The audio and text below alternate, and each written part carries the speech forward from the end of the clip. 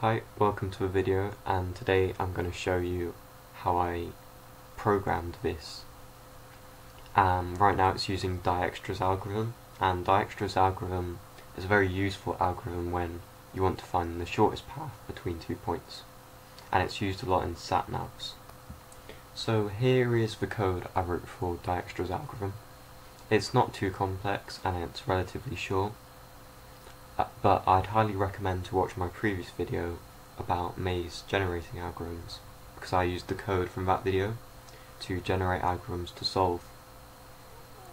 And the link for this code is in the description and so is the link for my previous video on generating algorithms. So firstly I'm going to talk you through how that algorithm actually works. And essentially what it's doing is just finding the fastest route from A to B. Now firstly, the algorithm searches the maze. And this, what it does is, imagine you, you're forcing water in from A so that it fills the whole maze. And it goes through all of the all of the routes at the same time. And when it's doing that, it's assigning essentially the time it's taken to get to each square with a number, a weight.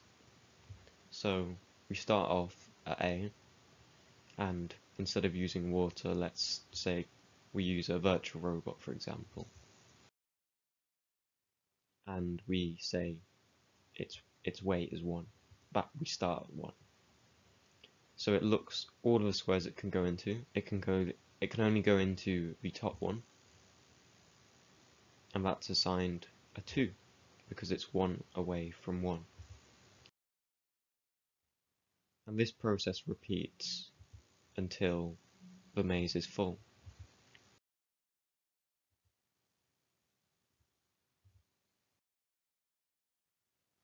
And now we get to a um, a place where there can be two possible routes.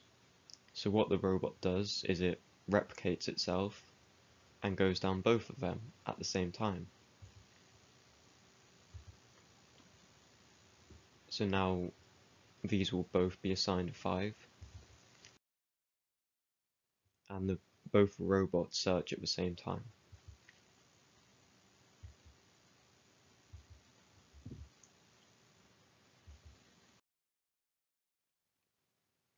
And these are all 6 and it does it again.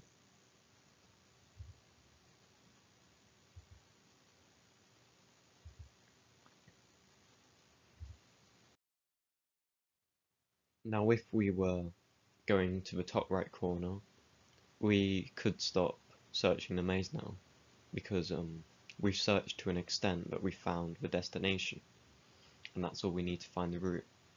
But just for completeness, I'm going to finish it off so they all move into a new square. But the top middle robot can't because it's in a dead end. So what it does is it basically annihilates itself and stops searching. And it goes. And now the maze has been completely searched and all of these robots disappear because they can't go anywhere else.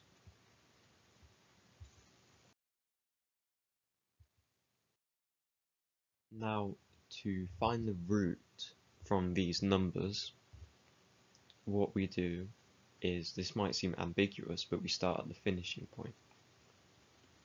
And I thought it was this was the most simple way to do it. And then we just backtrack our steps using the numbers. So the search method is basically like leaving a trail of breadcrumbs and we're going to follow them back to where we came from to create the route. So we, what we do is we see, is there a is there a square of six we can go into, and there is is. there a five we can go into? Because right now I'm in a six. Yes, there is. We can't go the one on the left here because there's a wall in the way. So we need to take that into consideration when we're programming the route finder. And it keeps doing this until we get to restarting point.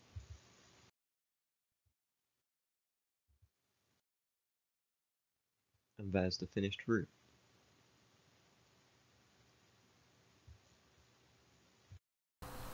So here's a little demonstration using the turtle to show you how the algorithm searches the maze.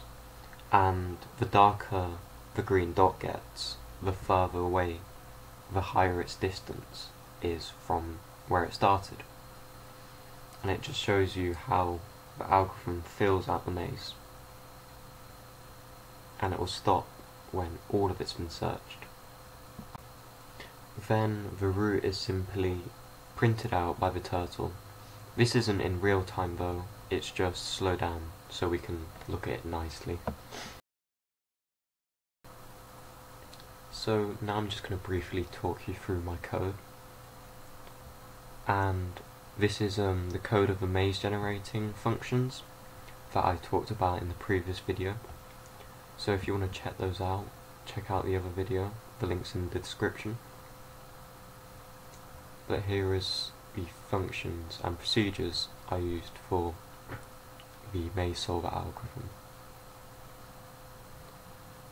So firstly we have the search function, this one here, and basically it creates the array, starts in the bottom left corner and does the search by having um, a list with all the current nodes in it and every single time it checks can it go into another node from that node. Node is basically a square in this context. And then it removes the node that it just went from. And the process keeps repeating until all of the all of the blocks have been visited in the maze. And this is the root function here. So remember it starts at the top right then backtracks like following a trail of breadcrumbs and each one of these is just checking to see is this the right square, is this the right square, so looking top, bottom, right and left. And each time there should always be a correct square. And it chooses that square and adds it to an array called root coordinates which holds the coordinates, the directions that the robot needs to take. And the root coordinates list is used by this function here to display where the route goes. So this is just a turtle function telling it to go to certain squares in certain orders to make the route directions. This here is just encoding how big the how blocky the line needs to be relating to how big the maze is. And that's basically it. So thank you for watching the video and I've hoped it's inspired you to check out creating a maze algorithm yourself. And I'd love it if you left a like and subscribe and maybe watch my other video on how the maze was generated. Thank you.